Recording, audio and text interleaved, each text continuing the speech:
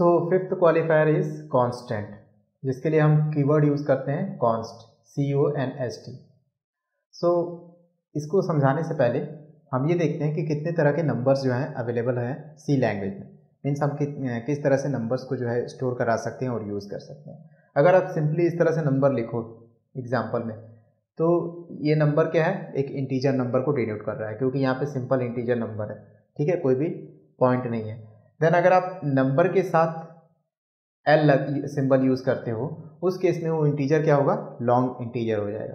ठीक है? तो ये इंटीजर हो गया और अगर आप नंबर के बाद एल यूज़ करते हो तो लॉन्ग इंटीजर हो गया। देन नंबर जो है अगर डेसिमल नंबर यूज़ हो रहा है उसमें पॉइंट यूज़ हो रहा है जैसे 12.3, 19.6 इस तरह से तो वो जो होता है फ्लोट नंबर कहलाता है। ठीक है? अगर नंबर के पहले आपने ज़ीरो से स्टार्ट किया उसको सी लैंग्वेज में तो इसका मतलब ट्वेल्व नहीं है। इसका मतलब है कि ये एक ऑक्टल नंबर है। ठीक है? ऑक्टल नंबर में ज़ीरो टू सेवन डिजिट्स तक जो है हम यूज़ कर सकते हैं। ठीक है? और उसकी जो बेस होती है वो एट होती है। सो so, इसको ऑक्टल बोलेंगे। और जब भी अगर आप ऑक्टल नंबर यूज़ कर रहे हो तो कंपाइलर उसको आपने किसी एक्सप्रेशन में यूज़ किया तो कंपाइलर उसको क्या करेगा? डेसिमल नंबर में चेंज कन्वर्ट करेगा एंड देन उसको फिर यूज़ करेगा। तो अगर ऑक्टल नंबर को डेसिमल नंबर में हमें यूज़ करना है तो उसके लिए हम क्या करेंगे? इस पर्टिकुलर नंबर को अगर मुझे डेसिमल में कन्वर्ट करना होगा तो कैसे करूँगा? One into eight raise to the power one plus two into eight raise to the power zero तो ये कितनी हो जाएगी? Eight plus two which is ten आ रहा समझे तो ये इसकी डेसिमल वैल्यू है ज़ीरो वन टू ऑक्टल की. Then zero along with X और फिर मैं नंबर यूज़ कर रहा हूँ तो इस तरह के नंबर को हेक्सा डेसिमल नंबर बोलते हैं। ठीक है? Then after that zero X उसके बाद नंबर मैं यूज़ कर रहा हूँ और लास्ट में एल यूज़ कर रहा हूँ तो वो फिर क्या करेगा? लॉन्ग हेक्सा डेसिमल नंबर को रिप्रेजेंट करेगा। ठीक है? इफ़ आई यूज़ एक्स और एनी अल्फ़ाबेट कोई भी अल्फ़ाबेट यूज़ कर रहा हूँ और उसके साथ सिंगल कुड का साइन जो है मैं यूज़ कर रहा हूँ, इसको यह सिंगल कुड बोलें, ठीक है? हाँ सिंगल क्विट बोलेंगे इसको। तो एक्स जो है एक्स के साथ एक्स कोई अल्फ़ाबेट है उसके साथ सिंगल क्विट है तो वो क्या होगा? कैरेक्टर कांस्टेंट होगा। कैरेक्टर कांस्टेंट अगर मैं सीक्वेंस ऑफ़ कैरेक्टर्स लिखूं सीक्वेंस ऑफ़ अल्फ़ाबेट्स लिखूं या फिर सिंगल एक अल्फ़ाबेट लिखूं और उस, उसको जो है डबल क्विट्स के अंदर डालूं तो उसको हम बोलते हैं स्ट्रिंग कांस्टेंट आ रहा समझ अब मैंने ये आपको क्यों बताया कि इस तरह से नंबर्स को रिप्रेजेंट किया जाता है? इसके पीछे रीज़न ये है कि जब भी हम कोई अगर एक्सप्रेशन यूज़ कर रहे हैं सी लैंग्वेज में, जैसे मैंने एक्सप्रेशन यूज़ किया इस तरह से A plus B divided by C plus D तो यहाँ पे क्या होगा? फाइनली जब इस एक्सप्रेशन को हम इवेलुएट करेंगे तो उस केस में इसका जो रिज़ल्ट आएगा, वो रिज़ल्ट इस बात पे डिपेंड करेगा कि इस ए का जो है डेटा टाइप क्या है ए किस तरह का नंबर है बी किस तरह का नंबर है सी किस तरह का नंबर है और डी किस तरह का नंबर है। देन उसको फिर हम इवेलुएट करेंगे और फाइनली जो है रिज़ल्ट उसके अकॉर्डिंग जो है यूज़ होगा। तो उसके लिए आपको ये ध्यान रखना है कि इस तरह के नंबर जो है यूज़ होते हैं सी लैंग्वेज में।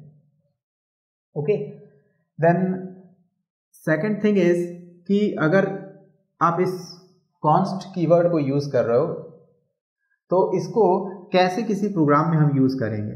तो मैंने आपको एरिया एंड सरकमफ्रेंस हम जब फाइंड कर रहे थे सर्कल का सी प्रोग्राम स्ट्रक्चर मैंने एग्ज़ाम्पल दिया था तो वहाँ मैंने कॉन्स्ट कीवर्ड यूज़ किया था।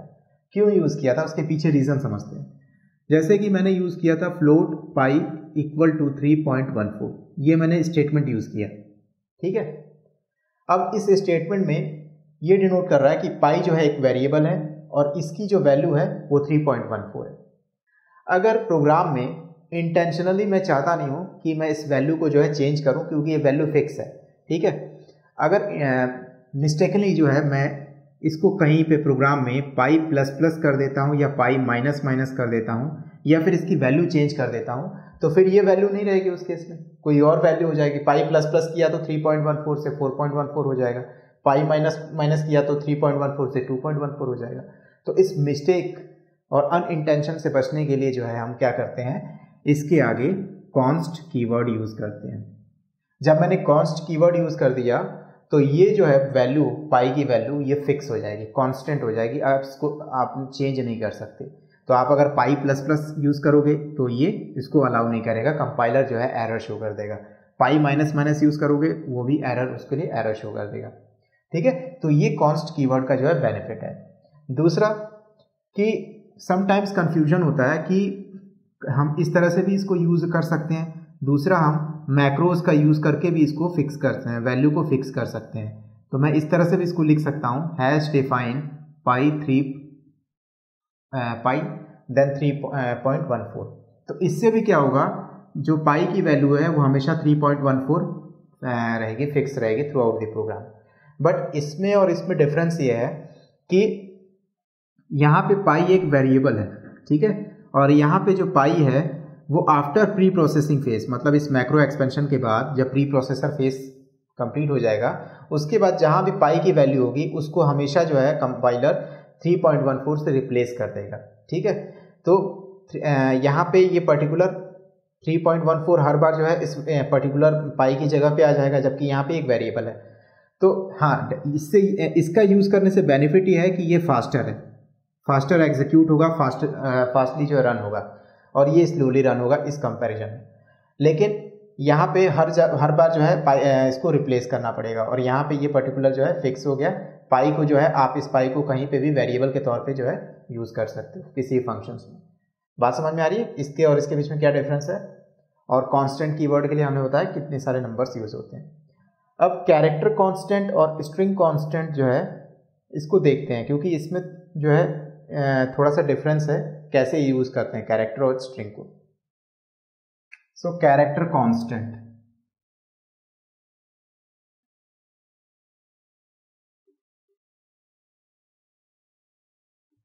character constant के लिए आपको सिंपली क्या करना है? किसी भी अल्फ़ाबेट को सिंगल क्विट में रखना है। ठीक है? अब इसका मीनिंग ये हुआ कि इस पर्टिकुलर कैरेक्टर की जो वैल्यू है, वो कांस्टेंट है। ठीक है? और वो वैल्यू हम कहाँ से इसको यूज़ करेंगे? वो वैल्यू को हम यूज़ करेंगे एस की टेबल के अकॉर्डिंग एस की टेबल जो होता है, एक तरह का टेबल होता है जिसमें कि हर एक डिजिट्स हर एक अल्फ़ाबेट चाहे वो लोअर केस अल्फ़ाबेट हो, चाहे वो अपर केस अल्फ़ाबेट हो, उनकी वैल्यूज़ दी होती है। और कंपाइलर जो है, इसी एस की टेबल को जो है यूज़ करता है। इसका फुल नेम होता है American standard code for information interchange A S C double I है ये। ठीक है तो American standard code for information interchange then अगर मैं इस कैरेक्टर कांस्टेंट के साथ कुछ भी अरिथमेटिक ऑपरेशंस परफॉर्म करता हूँ तो ये डेफिनेटली अलावेबल है। जैसे कि मैंने इस कैरेक्टर कांस्टेंट के साथ प्लस टेन कर दिया तो ये क्या हो जाएगा? ए की वैल्यू जो है एस की टेबल में कैपिटल ए की वैल्यू है sixty five sixty five plus ten कितना हो जाएगा? सेवेंटी फाइव और अगर मैं इसको इस तरह से लिखता हूँ A plus ten then small A की जो वैल्यू है एस की टेबल में, वो वैल्यू है ninety seven ninety seven plus ten कितना हो जाएगा? वन ज़ीरो सेवन ठीक है? तो ये तो हो गया character constant now string constant string constant string constant में किसी भी अल्फ़ाबेट को, चाहे आप सीक्वेंस ऑफ़ कैरेक्टर्स यूज़ करो, चाहे सिंगल एक कैरेक्टर यूज़ करो, उसके लिए हम जो है, उसको डबल क्विट्स में यूज़ कर सकते हैं। तो जैसे आप इसको जो है, इस तरह से भी लिख सकते हो। ये एक स्ट्रिंग कांस्टेंट है। या फिर मुझे अपना पूरा नेम लिखना है, इस तरह से। नीलेश, ठीक है? तो ये एक स्ट्रिंग कांस्टेंट है, क्योंकि मैं इसको डबल कोट्स में यूज़ कर रहा हूँ। स्ट्रिंग कांस्टेंट में इंपॉर्टेंट थिंग ये है कि जो भी स्ट्रिंग कांस्टेंट होता है, उसको मेमोरी में हम स्टोर कराते समय हमेशा उसके लास्ट में नल कैरेक्टर का यूज़ करते हैं। जैसे कि अगर कंपाइलर इसको स्टोर करेगा, इसको व्यू करेगा तो इसको इस तरह से व्यू करेगा कि एरे में जो है ए स्टोर है, उसके लास्ट में जो है नल कैरेक्टर है। अच्छा ये नल कैरेक्टर क्यों यूज़ करते हैं? ये नल कैरेक्टर ये रिप्रेजेंट करता है कि ए के बाद जो है कोई भी दूसरा स्ट्रिंग नहीं है, कोई भी दूसरा सीक्वेंस ऑफ़ कैरेक्टर्स नहीं है। तो इसकी एंड को डिनोट करने के लिए जो है हम नल कैरेक्टर का यूज़ करते हैं। इसी तरह से अगर इसको स्टोर कराएँगे मेमोरी में तो मेमोरी में इसको इस तरह से स्टोर कराएँगे। पूरा नेम आएगा N I L E S H then null character तो टोटल यहाँ पे कितने कैरेक्टर्स होंगे? मेमोरी में कितना स्पेस अवेलेबल होगा? सिक्स नहीं होगा टोटल कितने होंगे? सेवन होंगे। लेकिन हमारा स्ट्रिंग कॉन्स्टेंट में टोटल कितना कैरेक्टर्स है? सिक्स कैरेक्टर्स है। तो हमेशा जो है एंड को डिनोट करने के लिए नल कैरेक्टर का यूज़ होता है। ये तो फ़र्स्ट थिंग हो गया। सेकेंड थिंग कि अगर आप एक सिंगल कैरेक्टर दे रखा है इसमें और इसके अंदर डबल क्विट्स के अंदर है तो ये स्ट्रिंग कांस्टेंट है। लेकिन स्ट्रिंग कांस्टेंट में अरिथमेटिक ऑपरेशंस जो है वो अलाउेबल नहीं होते हैं। चाहे आप कोई भी अरिथमेटिक ऑपरेशन करो, अगर आप इसको इस तरह से लिखते हो डबल कोट्स में ए प्लस टेन तो ये जो है कंपाइलर इसमें एरर शो करेगा। ठीक है? अगर आप इस तरह से लिखते हो स्मॉल ए प्लस टेन ये भी अलाउेबल नहीं ठीक है? तो arithmetic operations plus minus multiplication जो है, वो स्ट्रिंग कांस्टेंट में नहीं हम कर सकते, लेकिन कैरेक्टर कांस्टेंट में हम कर सकते हैं। ठीक है? बात समझ में आ रही है? स्ट्रिंग कांस्टेंट और कैरेक्टर कांस्टेंट में डिफरेंस है। दूसरा स्ट्रिंग कांस्टेंट को जो है, आप कॉन्कैटिनेट कर सकते हो। जैसे कि अगर मैंने इस तरह से लिखा स्ट्रिंग कांस्टेंट को, और एक दूसरा स्ट्रिंग कांस्टेंट है, तिवारी। तो दोनों को जो है मैं कॉन्कैटिनेट कर सकता हूँ। कॉन्कैटिनेट करने के बाद क्या होगा? ये पूरा स्ट्रिंग कांस्टेंट जो है एक साथ आ जाएगा। नीलेश, एक स्पेस छोड़ के तिवारी। आ रहा समझ में? तो स्ट्रिंग कांस्टेंट में हम स्ट्रिंग कांस्टेंट को कॉन्कैटिनेट कर सकते हैं। ये मैं इसकी प्रॉपर्टीज़ बता रहा हूँ, ठीक है? ये एक चीज़ हो गया। सेकंड हो गया कि आप स्ट्रिंग कांस्टेंट जो है नल भी हो सकता है। तो ये एक तरह का नल स्ट्रिंग कांस्टेंट है। इसमें कोई भी सीक्वेंस ऑफ़ कैरेक्टर्स नहीं है। ठीक है? तो ये हो गया कैरेक्टर कांस्टेंट और ये हो गया स्ट्रिंग कांस्टेंट ओके?